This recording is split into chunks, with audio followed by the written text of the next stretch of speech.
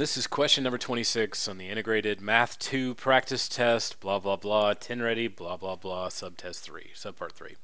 Now, a quadratic function is given as 4x squared plus 8x plus 10. That's in standard form. You'll notice that all the uh, the exponents are in descending order. This would be x to the first, x to 0. Uh, write an equivalent function by inserting numerals 1 through 9 in operational signs into the vertex form given. So basically they want you to go from standard to vertex form. And there's a couple ways that you can do it. The algebraic way that you're probably used to doing um, involves remembering that the vertex form would be y or f of x, whatever you want to say, is equal to a times x minus h squared plus Okay. So the value in, and this is, by the way, ax squared plus bx squared, or bx plus c, not bx squared. That wouldn't make any sense. Um, so the value for a is the same. So 4 goes here and there. Now, the next thing we're going to do is find the points for h and k. And the h and k would be the vertex points. So this is positive, so it's going to look something like this. So we want to find this point here, because that's what the vertex form is built around. That's what's called vertex form. Anyway, with that being said, let's uh, do negative b over 2a, because that can get us our axis of symmetry. It gives us the line that splits the parabola into a nice symmetric half, so you can fold it over on itself, which also gives you the x component of your vertex, by the way. Anyway, negative b here would be negative 8 always keep the signs. If this was negative 8, you'd put negative negative or plus 8. And then divide by 2 times 4. I almost wrote 2 times 8 there. I was thinking ahead. Uh, negative 8 over 8 is equal to negative 1. So there's my x term. So for hk, for this one, it's negative 1. The only part that people struggle with if they can get to there is remembering that it's x minus h. It's the opposite of what you think it is.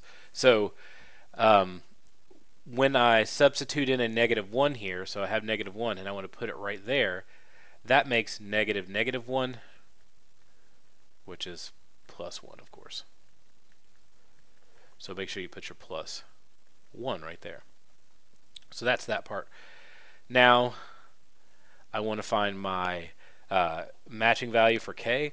And really what we're going to do to find it is just know to know what the value of the coordinate is at any point. If I know one of the, uh, if I know the x component of the coordinate, I can just substitute x in to this equation and find out what the matching y uh, coordinate is. So 4 times negative 1 squared plus 8 times negative 1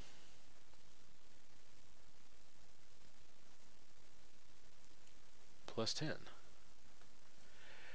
Um, this is just 4 minus 8 plus 10. Negative 4 plus 10 gives you positive 6. Actually, I'm just going to put it down below. Right there. So, pretty easy stuff. That means this is this. And for this, it's positive case. So if you put plus 6 in with plus 6, it just gives you plus 6. So there's your answer to that one. It's not too difficult. 4 times x plus 1 squared. So it really looks like this. It's kind of cruddy writing.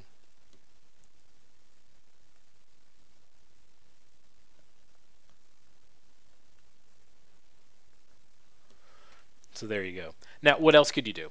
I mean, I don't. I'm running out of time, or I have, or I want to just check to see if it's correct.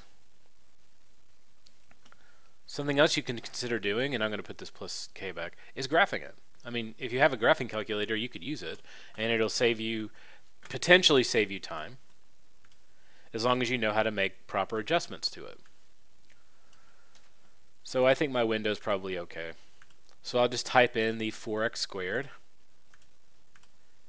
plus 8x plus 10, and I'll graph it.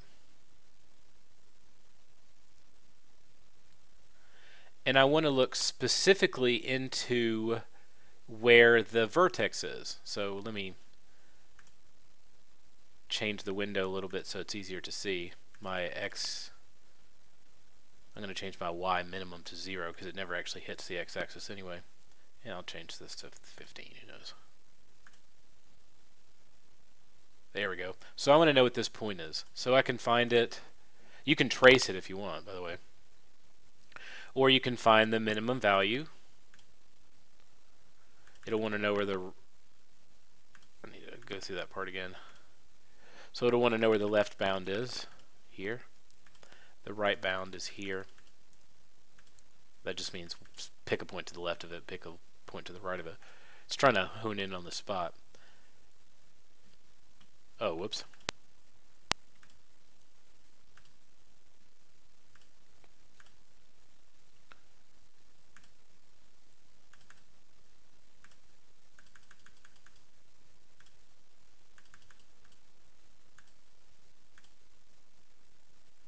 There it is, negative 1 and 6.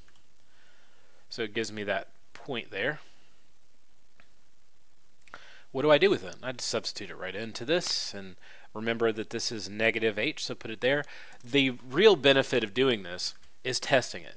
So say for instance I thought that um, it should be y is equal to 4 times x minus 1.